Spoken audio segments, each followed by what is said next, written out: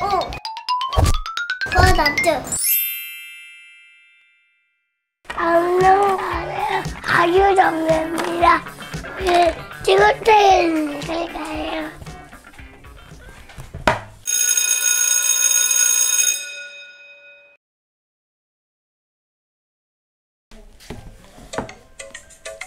육식공룡 티고도 어릴 때는 겁쟁이였대.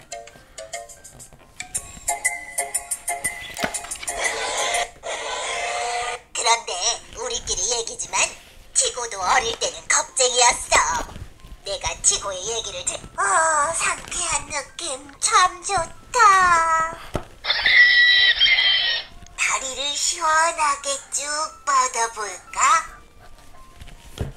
공룡들은 모두 알에서 나와.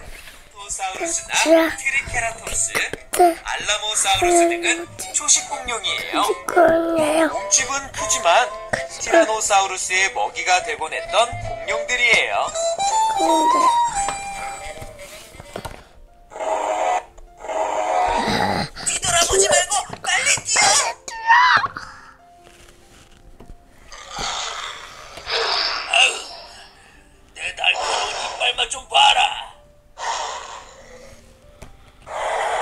소화도 다 됐으니 이제 슬슬 일어나 볼까?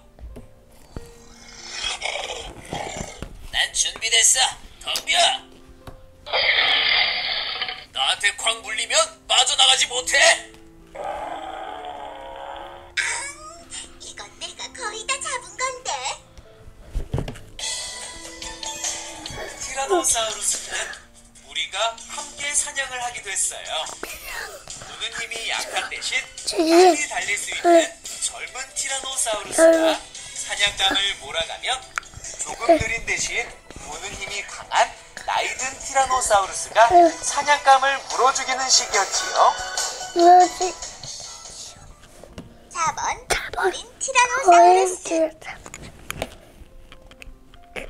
3번 하드로사우루스.